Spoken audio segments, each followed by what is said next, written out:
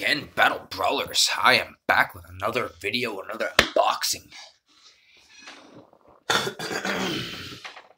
so, this time I will be unboxing Haos Core Howlkor.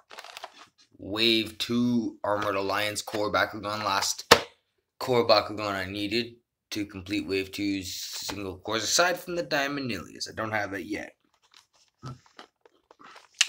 And or the Diamond Enoch Ultra. I haven't found that yet either. But yeah, without further ado, I'm getting into this bad boy here.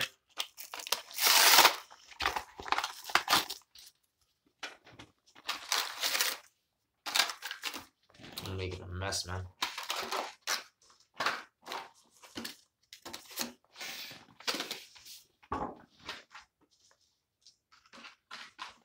Alright, so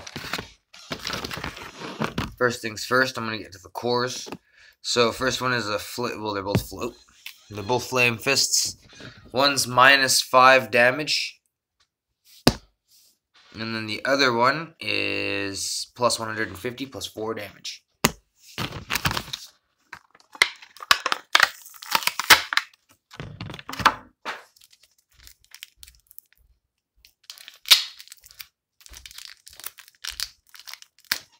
Since this is a Haos Bakugan, I'm assuming it's probably going to come with a Leah um, Venegas Gate Trainer.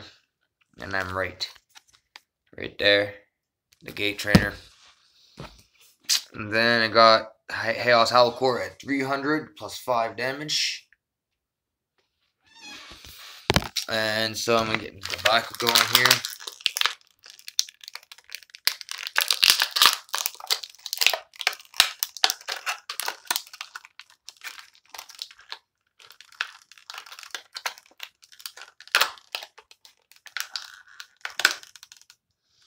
Alright, Haos Core, Howlkor. I'm just gonna close them up here so I can.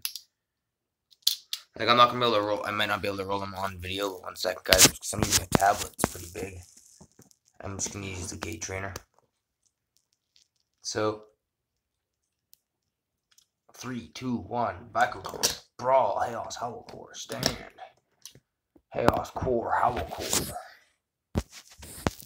Well, that is pretty cool. Now I got the Haos one. I actually got, well, you obviously, when you, you'll probably the video, but I got the Darkest Deca Howl Core now, which is pretty cool. Yeah, that's pretty cool. Now that's another Bakugan for the collection. Well, anyways, comment, like, subscribe, and Bakugan Brawl.